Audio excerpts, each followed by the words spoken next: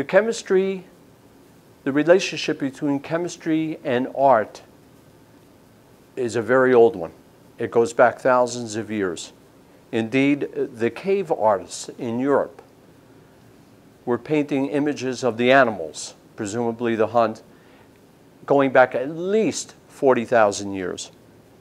Recently, about five years ago, a research group in South Africa found strong evidence of earth pigment, ochres, crushed up in a device with binder added. And that binder was, is casein, the protein, the venerable protein isolated from uh, milk, yogurt.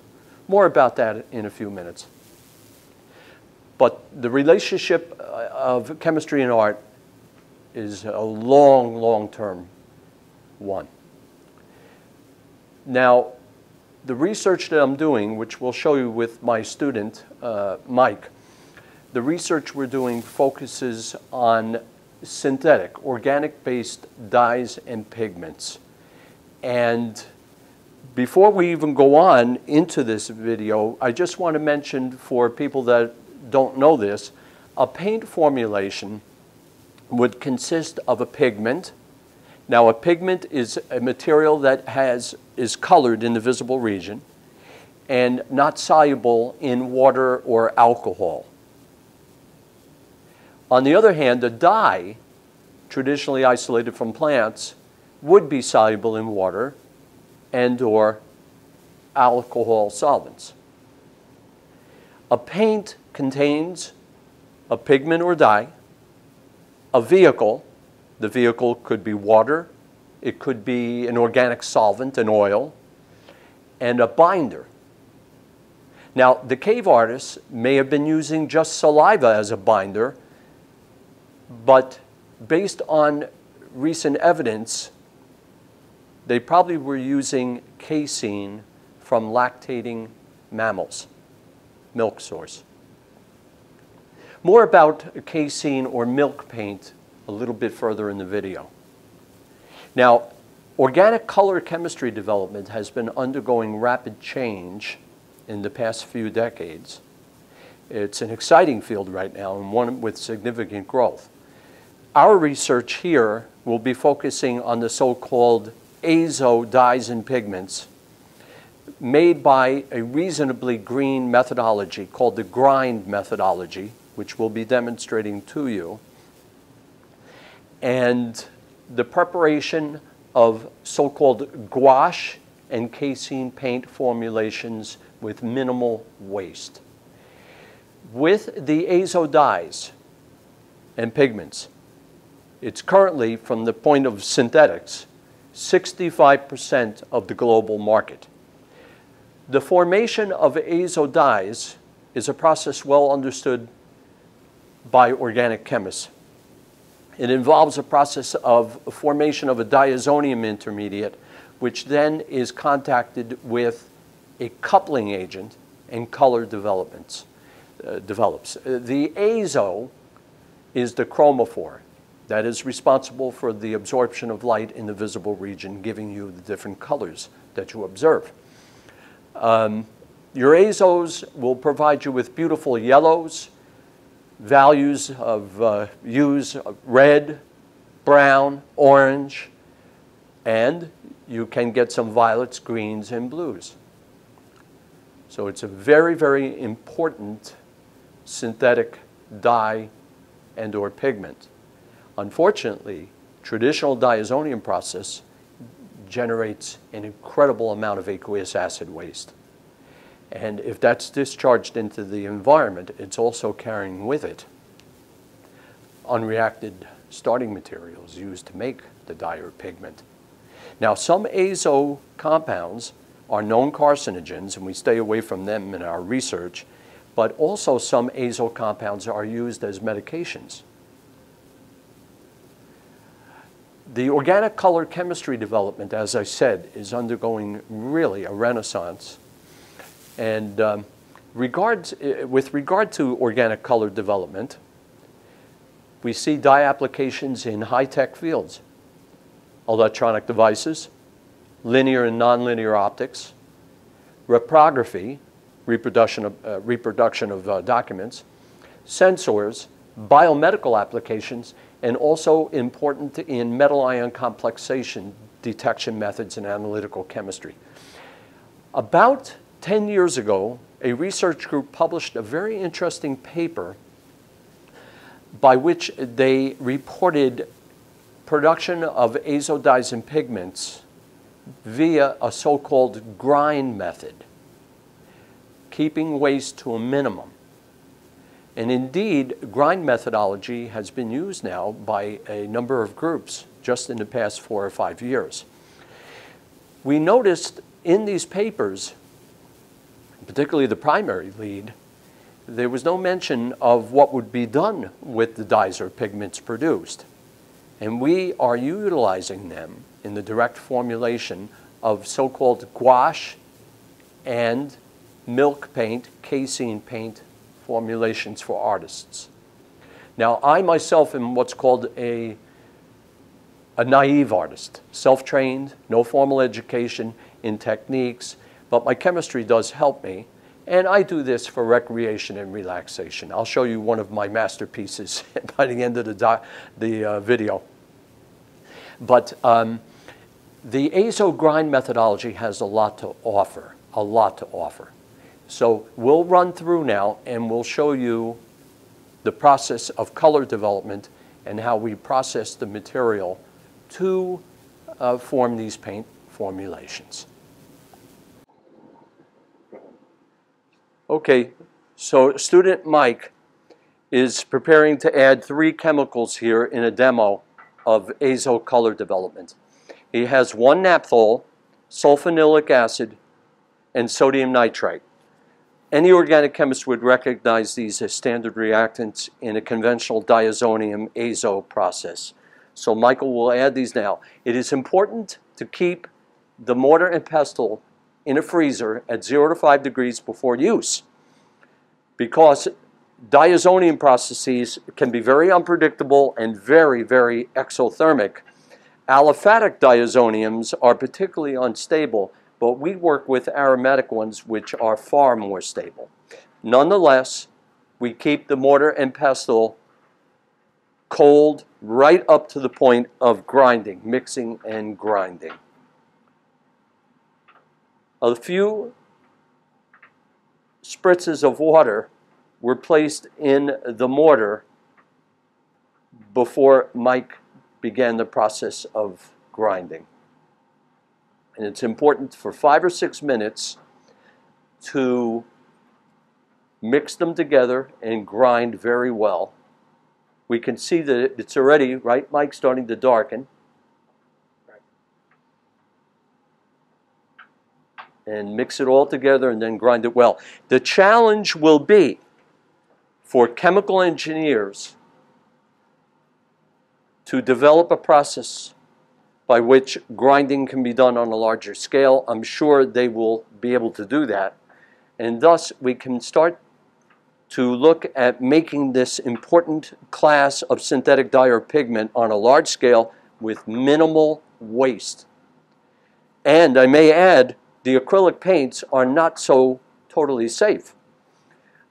Even though they're water-based, there are organic components like glycols and we are discharging incredible amounts of the acrylics into the environment and they are not totally safe. There are small molecular weight acrylics in there and uh, I do think we'll show you the milk paint has a lot to offer and it's making a comeback. It had been actually pushed to the side with the introduction of the acrylics perhaps in the 50s but it's making a comeback and more artists are turning their attention to it because they want to stay with something renewable such as casein protein from milk sources.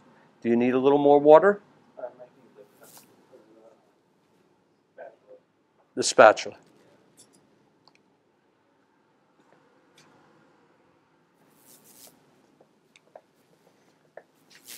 The challenge will be for scale up but grinding technology is available. A little more water or not yet? Okay. We're in the process of developing this research. It's not an exact science yet. Now, we will be trying to minimize any discharge of waste, as you'll see. We're going to be diluting this reaction after five or six minutes with plenty of water. We'll add the binders, and then the material, yeah, we're starting to see the red color now, the material will be placed in a dehydrator overnight. And the next day, we're able to recover the solid paint formulation, which would have the binder and the dye or pigment. It's coming along now.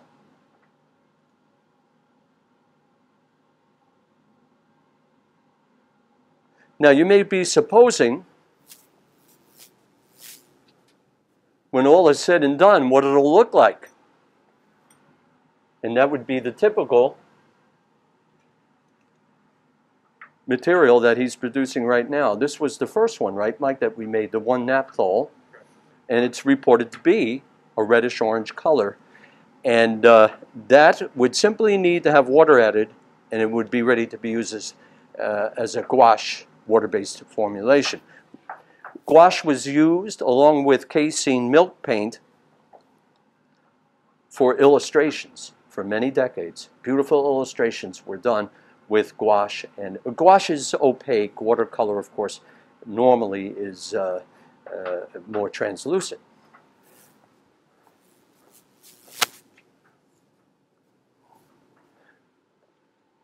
This would be a swatch. And that would not be of the one he's doing now.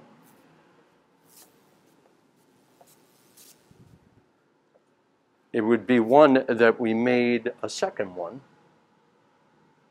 And that was applied. And you see, I was using an expensive brush. We get a very nice reddish orange color.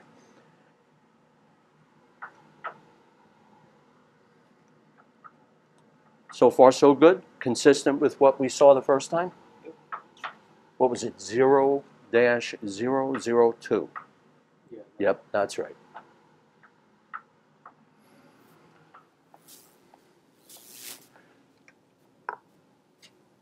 This, I would like to mention to uh, viewers, would be a ground up, commercially available watercolor cake.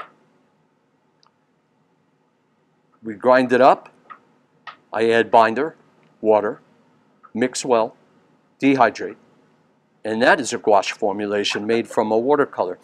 The material I found is very affordable is made uh, by Giorgione,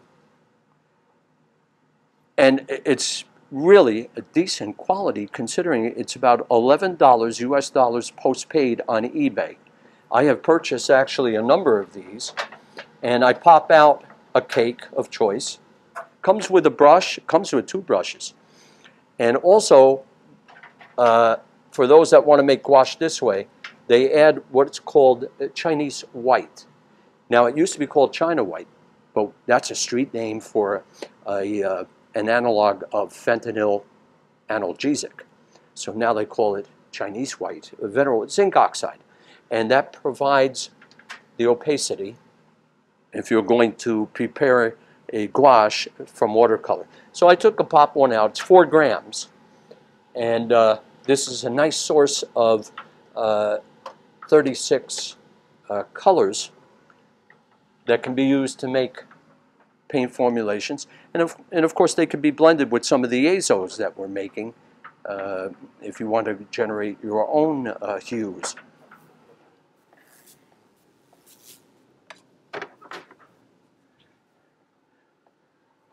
So far, so good, huh? Notice we're not getting any of that side material like we did one time. This is much more like the one we, we did. You didn't notice any heat, did you? Is it still cold or warming up to room temperature?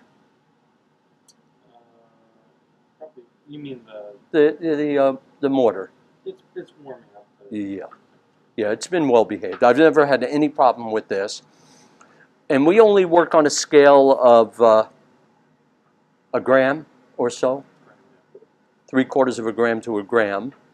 And uh, the challenge, as I said, will be to uh, scale up for manufacturing, but there's enormous potential here. Do you think that's about five or six minutes? Okay, so at this point, we're going to go over to the bench top. Now, we've been using, as we develop this from the initial paper, uh, we warm up some water. Here we're using 50 milliliters of distilled water, uh, just warmed up, maybe 45, 50 degrees Celsius. And then we'll add that right in there. You see a very nice red color now.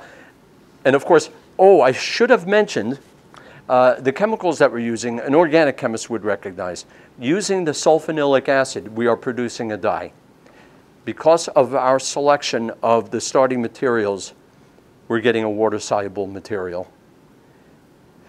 If we did it a different way with slightly different uh, reactants, we would then generate a non-water soluble pigment. And I may add, the cave artists were using the venerable mineral pigments, ochres, the earth pigments, the yellows, the reds, along with uh, charcoal. And of course, the ochres are still uh, valued uh, greatly in the art world. So far, so good, huh? Yeah, and is special. All right. It's been very consistent. And uh, as Michael does these reactions, he's gaining expertise. We're going to prepare today in this video a typical gouache formulation. Now, watercolors traditionally would have as binder gum arabic or dextrin. Dextrin is low molecular weight material derived from uh, uh, complex uh, starch, complex carbohydrates. We're going to be using a blend that I developed, a, 50, a solution of 50% polyethylene glycol, which is used in foods and perfectly safe. Uh, molecular weight 8,000. It has in it also 5% by volume glycerol because that's very good for aiding brushability, flow of paint off a brush. We'll be blending that with a commercial sample called, uh, the registered trademark is Aquazol. It's a water-based synthetic polyamide binder. And the company is Polymer Chemistry Innovations in Arizona, and they gift me plenty of different molecular weight uh, ranges of Aquazol. Interestingly enough, a chemistry professor at the University of Pisa in Italy was asked to touch up a masterpiece. And he used a water-soluble Aquazol because decades from now, with technology advancing, they may want to remove the touch-up and replace it with some other material. So he used the Aquazol with great success. I'm blending the two to see how they behave. So far, so good. But uh, as research is, we're going more and more towards uh, utilization of casein. It's a wonderful binder. Under the right conditions, it can be applied for external use.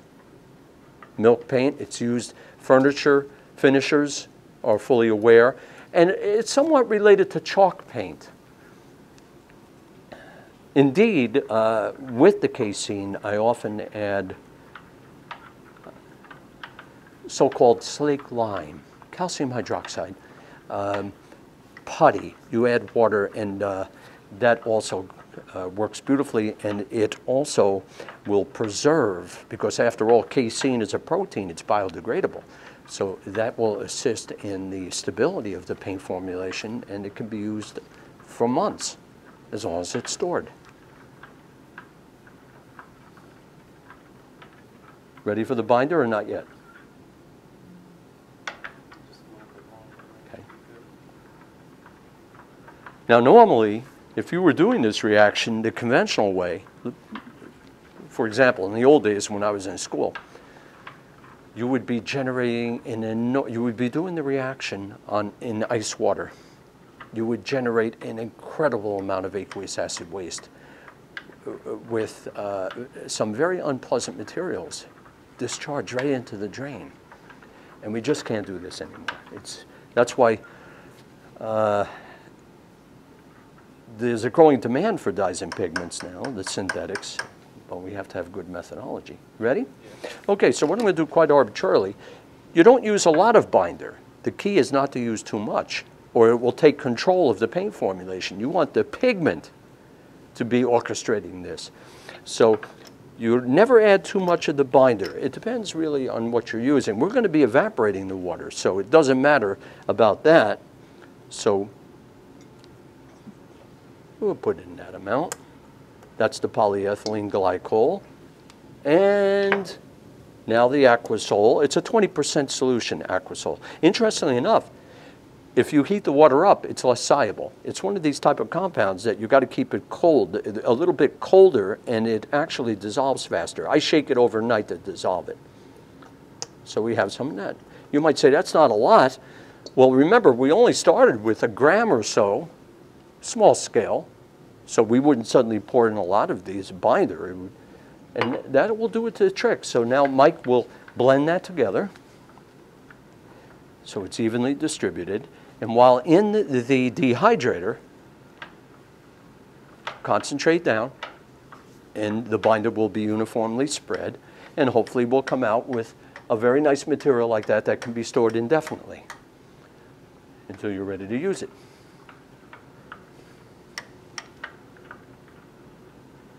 For example, we may make next week a yellow azo dye. I could then take that blend it with some of the blue that's commercially available, and generate uh, green values.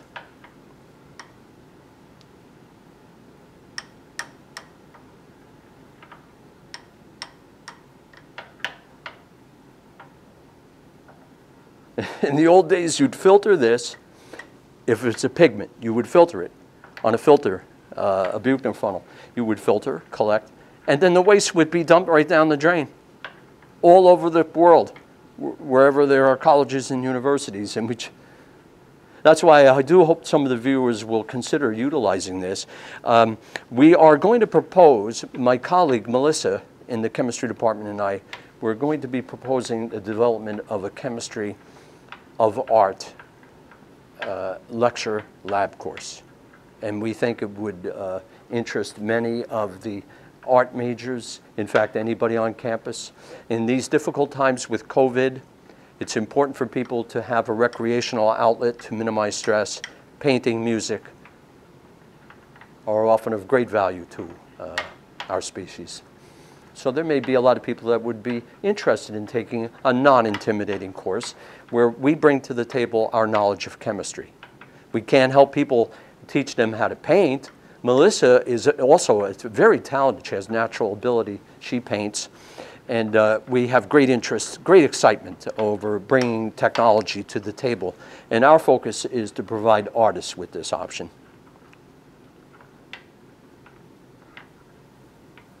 That looks pretty good. Now, what he's going to do, Mike, he's going to very carefully pour it in a plastic weigh dish.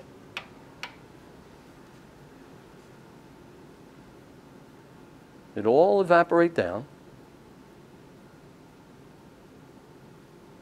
See, we're getting most of it. There's going to be minimal waste. Why don't you give that a little rinse huh, with the green uh, container? Yeah. Try to get a little more of it so we don't have much waste. Now, whatever residue we have, I will add more water and pour it in a waste bottle. And we can uh, put it in a container and let it evaporate down in the fume hood.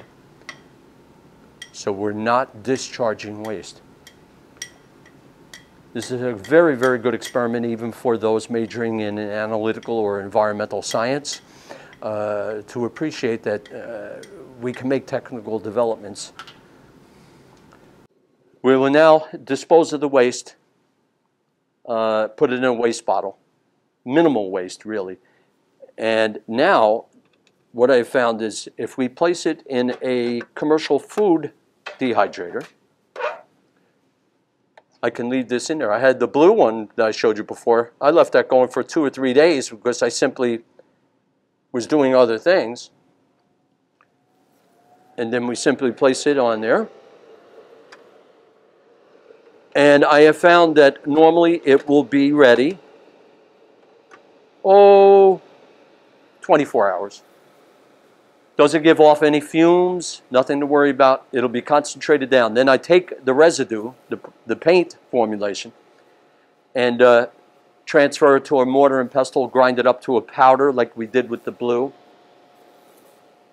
It'll be ready for use uh, when needed. The last thing will be to show you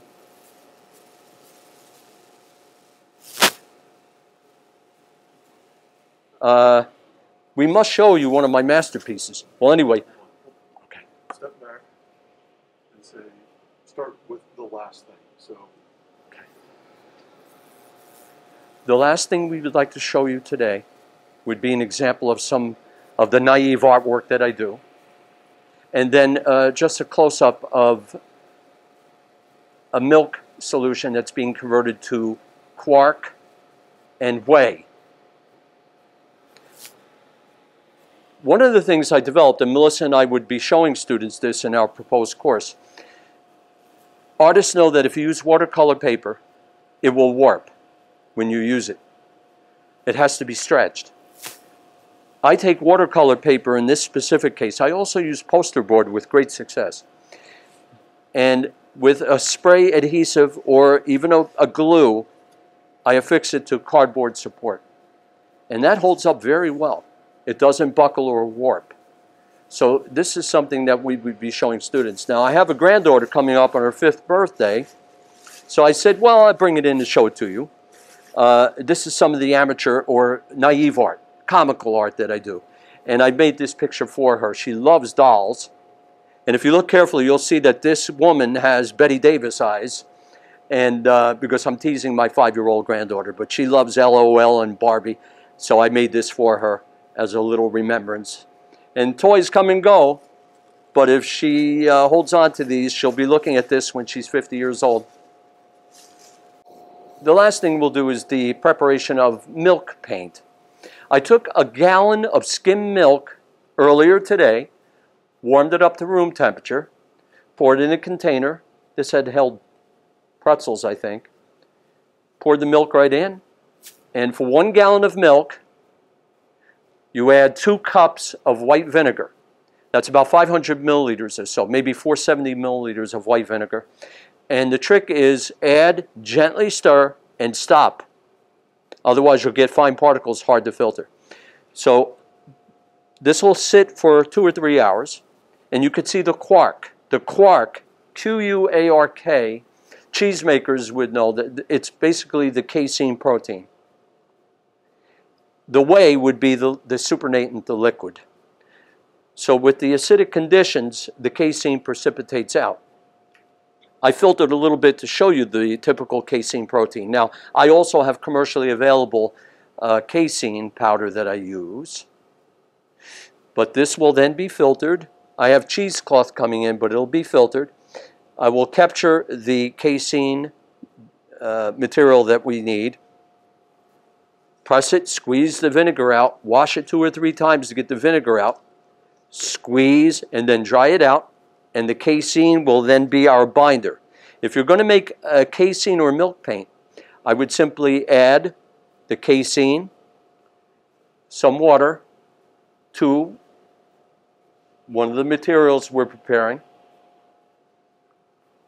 and stir it well, and then I add a very small amount of calcium hydroxide, mix it up, give it about an hour, and the paint is ready to be used. So I hope this puts some ideas across to you. And I'm hoping that uh, educators will consider utilizing this in creative ways. And of course, uh, you'll be able to contact me with any questions.